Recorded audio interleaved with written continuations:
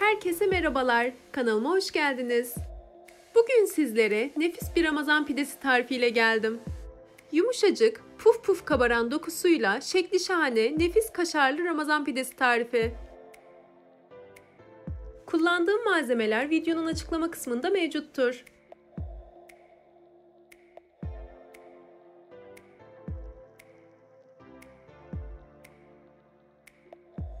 Yoğurma kabımıza bir büyük su bardağı ılık su ve süt karışımını alıyoruz. İçerisine bir paket kuru instant mayayı ve 2 tatlı kaşığı şekeri ilave ederek karıştırıyoruz. Kullandığım su bardağı ölçüsü 250 ml'dir. Süt ve su karışımı yerine yalnız sütle de hazırlayabilirsiniz bu tarifi. 5 dakika kadar mayanın aktif hale gelmesini bekledikten sonra üzerine 3 yemek kaşığı kadar sıvı yağı, 2 yemek kaşığı yoğurdu, ve 1 adet yumurtanın beyazını ekleyerek karıştırmaya devam ediyoruz.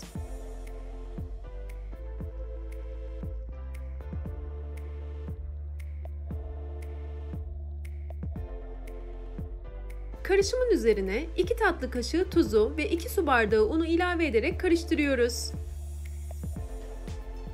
Tarifin yapımında en önemli püf noktalardan biri kullandığınız su ve süt karışımı ya da yalnızca sütse bunun çok fazla sıcak ya da çok soğuk olmaması gerekir.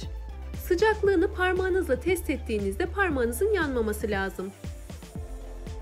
İkinci püf nokta ise hamurumuzun çok fazla sert olmaması gerekir. 2 su bardağı unla spatula ile karıştırmaya devam ettikten sonra elimle yoğurma işlemine geçeceğim.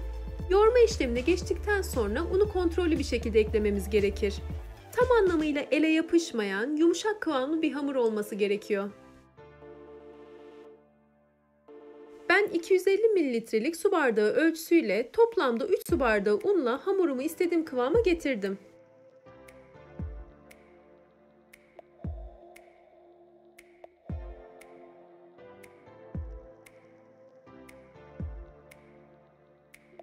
Hamurumuz toparlandıktan sonra birkaç dakika boyunca hamurumuzu güzelce yoğuralım. Hamurumuzun üzerine 1-2 yemek kaşığı kadar sıvı yağı ilave ederek biraz daha yoğurmaya devam edelim.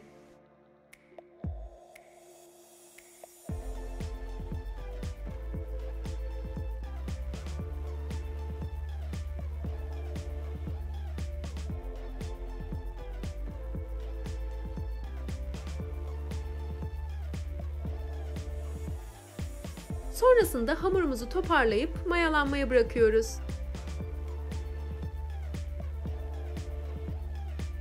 Hamurumuzun üzerine streç filme kalın bir örtüyle örterek en az iki katına ulaşıncaya kadar mayalandırıyoruz. Ben hamurumu 1 saat mayalandırdım. 1 saatin sonunda hamurum gördüğünüz gibi çok güzel mayalanmış.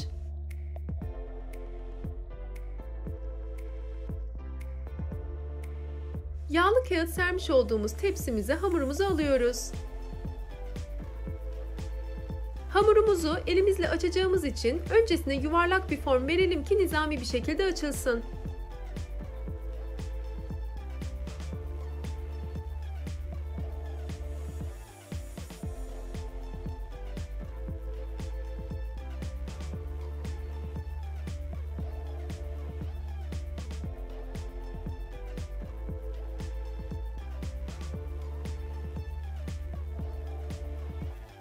Çok fazla ince olmayacak şekilde hamurumuzu açıyoruz. Sonrasında bıçakla kaşar peyniri koyacağımız yerlere çizikler atıyoruz.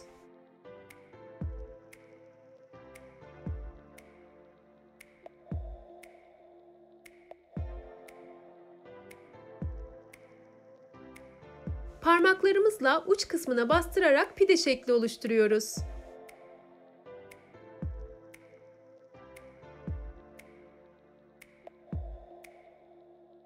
Kenar kısımlarına da bıçakla çizikler atıyoruz.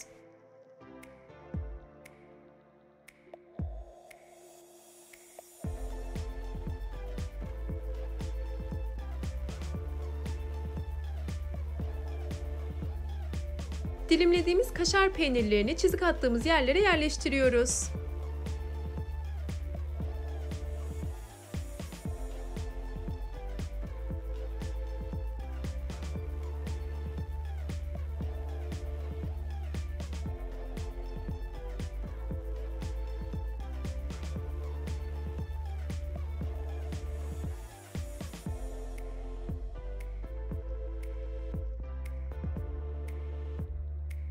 Peynirlerin üzerine hafifçe bastırarak üzerini bir bezle örtüyoruz ve yarım saat kadar tepsi mayası yaptırıyoruz.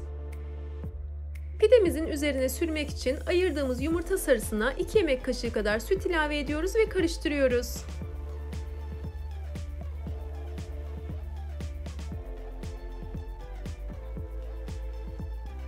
Yarım saatin sonunda hamurum çok güzel kabarmış gördüğünüz gibi.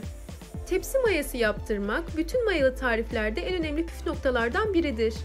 Bu noktayı kesinlikle atlamamanızı öneririm. Kaşar peynirinin dışında kalan yerlere yumurta sarısı ve süt karışımını sürüyoruz.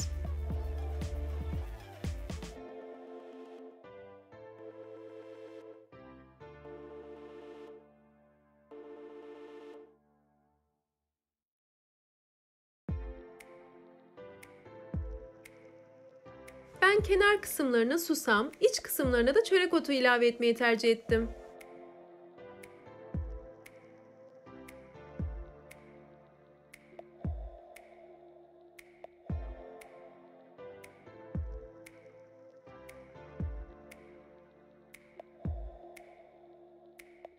Önceden şekil verdiğim kısımlar mayalandıktan sonra biraz kabardığı için tekrar üzerinden geçiyorum. Önceden ısıtmış olduğumuz 180 derecelik fırında 25 dakika kadar bir sürede pidemiz hazır oluyor.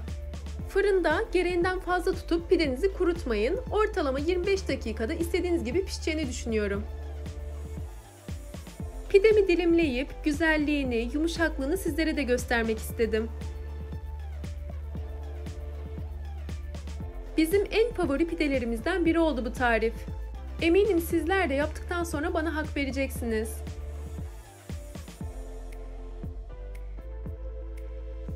Gördüğünüz gibi yumuşacık, içi dolu dolu. Deneyecekleri şimdiden afiyet olsun.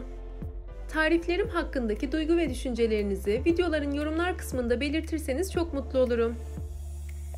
Paylaşımlarımı faydalı buluyorsanız videolarımı beğenmeyi ve kanalıma abone olmayı unutmayın.